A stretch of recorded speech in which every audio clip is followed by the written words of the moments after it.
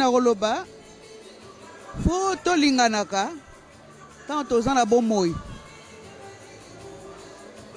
Bilobaloba eyala mingi te lokuta ezala mingi te tala mama sœur na ngai asalaki mingi asali mingi vraiment mpona mboka mpona artistiquement na politike asali mingi. Ta ndenge atiki biso apesi biso choc.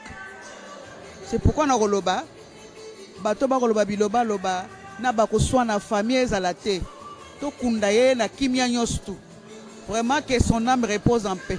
Ndaka na basouvenir ye ya bien ebele. Neti na mosala. So boza na studio alembaka te akokorige na banote aza na lere nyonso na babouton oyo oyo. Banani ba batechnicien basalelaka vraiment alaki mwasi moko mayele mingi. Mosala miziki alaki na mayele nango. Vraiment. Mpe azalaki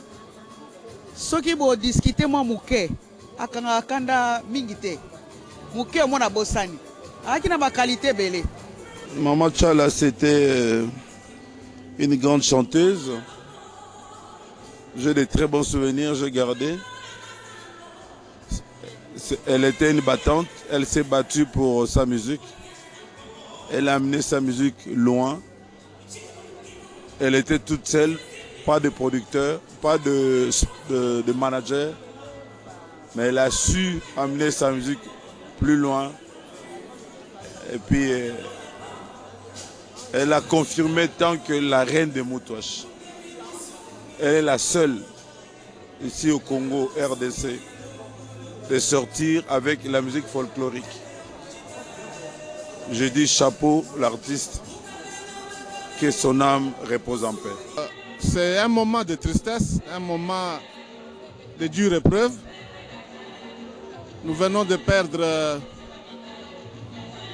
une sœur, une grande sœur, une belle sœur, une grande dame, une grande artiste qui a su euh, répandre, étendre la musique congolaise à travers le monde.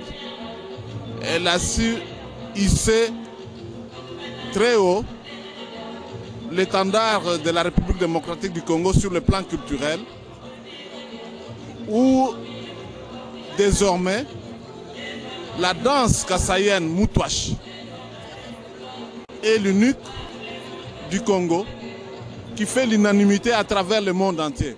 Vous pouvez être en Amérique, vous pouvez être en Europe, vous pouvez être en Afrique, en Asie, partout. On connaît le moutouache comme la danse en tant que patrimoine culturel du Congo. Et cette dame nous quitte à la fleur de l'âge, c'est une grande tristesse. Nous aurions voulu la voir encore pour longtemps.